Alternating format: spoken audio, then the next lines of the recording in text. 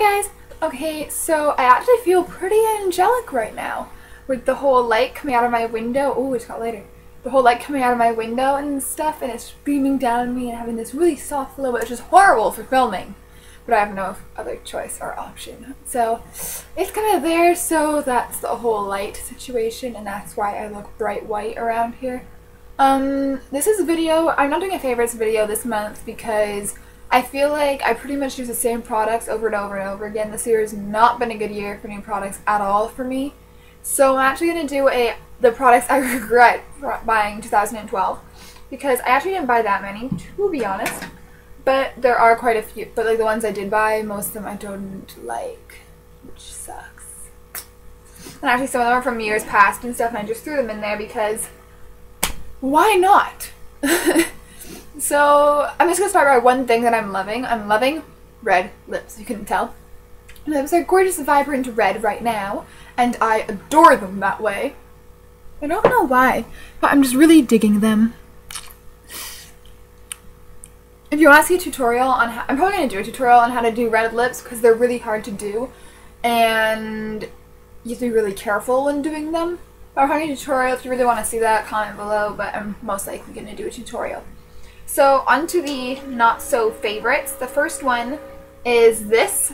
It is the Stila Eye Silk Eye Wash in kitten, and I got this a long time ago, but it's probably only two years ago. And I really thought it was a great idea at the time because I loved the kitten eyeshadow. It was gorgeous. It was too crumbly for me.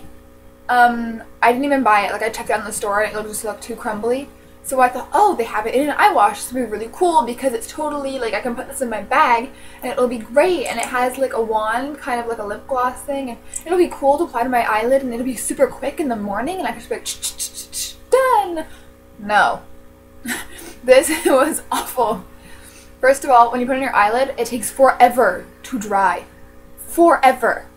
You're just waiting like this for the longest time. And then it actually creases, usually then usually when it finally dries, it's all stiff on your eyelid. And then when you first open your eyes and you try to blink, they all stick even though it's supposedly dry. And then you always have really harsh lines because it doesn't blend at all. At all. And then what was the other thing? There was another problem I had with it.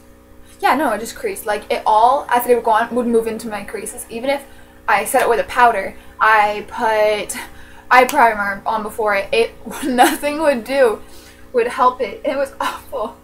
And this is a gorgeous color too. I was just so disappointed. My next thing are two palettes from Maybelline. They were the Smoky Eye Quads, which, you know, I mean, I thought genius idea right here. This is gonna be great. Um, because it tells you, like, I don't know if you can read it, but it says lid, crease, brow bone, yeah, brow and outer corner. It tells you exactly where to put everything, and then in case you can't read, it has a diagram on the back. So, I mean, I thought, great idea, you know, like this will actually be perfect because I just really like the colors and stuff, and for beginners and, and for beginners, it would be amazing because they could just look at it and know exactly where to put everything, and they'll get this really nice smoky eye because smoky eyes are really hard to do. Um, no. that was really disappointing. The colors were beautiful. The pigmentation is amazing. I actually use these two colors on any on a regular basis. Actually, you still use the colors. So, I guess it's not really a regret. Well, is it? No, I guess not. Like, it kind of is a regret. The colors look beautiful, and I use them on a day-to-day -day basis anyway. Like, I use them a lot, but I don't use them in the purpose that the package came in. Like, the product sucks. like the product, the idea was great. The way it worked was not so good because they were actually so dark. I know they look dark. I know they're supposed to be dark because it's eye. And I'm not really talking about this one. It's more this one that I had the problem with, and I'll address that soon. But yeah, the colors worked really well. It was just they didn't blend very well into each other. Yeah, so that was my problem. That was my problem. Um, they didn't blend at all when you put them on, you can't blend them. It's very hard to get the color on your eyelid. This one was more easy. This one, the brown one, it was called Natural Smokes. Um, was a lot easier. And this was I used am I got amethyst smokes too because I really like the colors. I had a really nice white, kind of sparkly black, and the purples. I thought I could make a really nice purple smoky eye. Um, these colors didn't go on well at all. This color right here, honestly, I would have to put it on, and then you would touch. Okay, like you would put on your product on. You would touch your eyelid. There'd be like a nice amount of like product where you put it, and then when you tried to put it elsewhere on your eyelid, nothing came off the brush. Like it wouldn't really go on your eye very easily. Um, yeah, it wouldn't go on your eye very easily. The color distribution wasn't good. They wouldn't blend. It was awful. And like the idea was amazing, so it sucked. Um, next one is the CoverGirl Smoky Shadow Blast, and everyone has think has done a video on how terrible this product is. It is an amazing idea. Like again, the products that suck, I find, often have the best ideas behind them, but then they rush to get it out on the shelves because oh, that's such a good idea, it's going to sell really well. So they don't do it very well. They don't make sure the product is good. They just make it really fast and then they spit it out there. So it tells you know step one and step two, kind of like the other one. This one is like your brow bone, inner corner, and lid. So it's really easy. You know, you can just go like that. Um, and it's a beautiful color. I liked this one. This one, I think, this was the doesn't say. I think it was bronze fire or something like that. And then step two was this brown, and that was just for your lid, and then like lash lines. Only problem is these.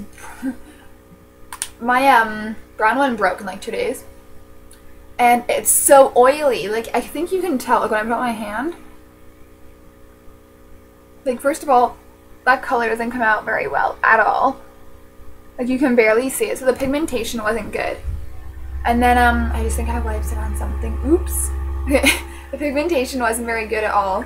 And then they broke and they're oily because it's it's too creamy for your eyelid. Even when I put like same for the other one, when I put primer on it, and then I could put like a setting powder, it would not work. It will move straight into your creases. It creased really bad. I was really upset.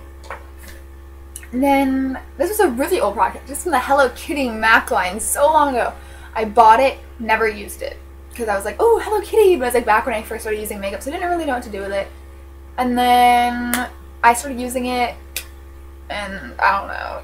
This was the Too Dolly palette, and the only colors I really used were Yogurt, which is in its permanent line, so it's not really the limited edition one, so I could have just bought Yogurt.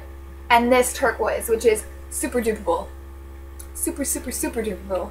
Sounds fun.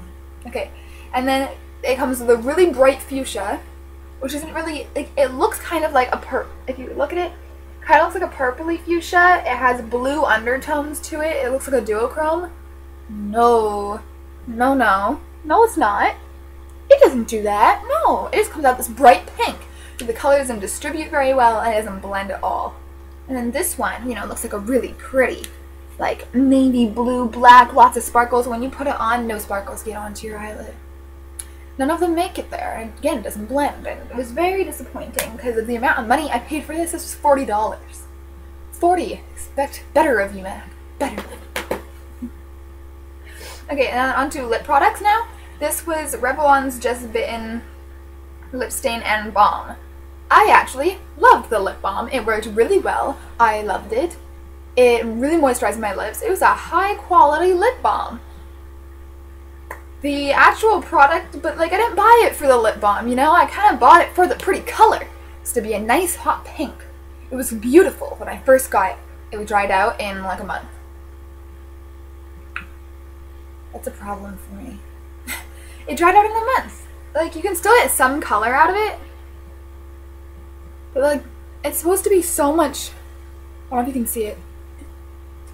Yeah, there, that pink splotch. It's supposed to be so much brighter. When I first got it, it was like bright neon highlighter pink. It was a gorgeous color. And now it's like nothing. It just kind of looks like a bright pink, but it isn't. And when you first put it on, it starts working again. I'm like, yes! And then you finish your bottom lip and you go to your top and there's none left. It just dried out and I was really disappointed in Revlon. But on that note, their Revlon lip balm stains where it's like, it's not a felt tip, it's pointy like a crayon. It's really more. I don't know where mine is right now. I can't find it.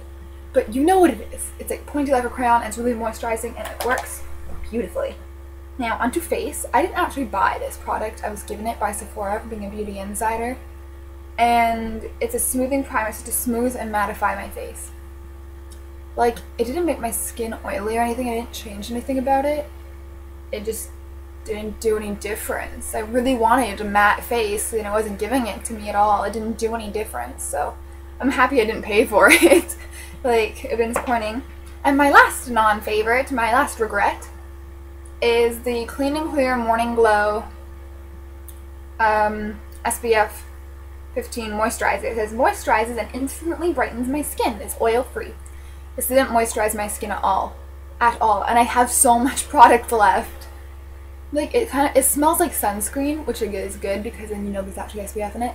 But it didn't moisturize my skin. If anything, when I put it on, my skin feels like oily. Even though it's oil free, it feels a bit oily. It feels when it, like when it all soaks in, my skin looks flaky, dry. It's not a good product. And worst of all, when I said instantly brightens, I thought, you know, I mean, it made your skin pretty and like it would moisturize it and it would look healthy. Oh. It has sparkles in it.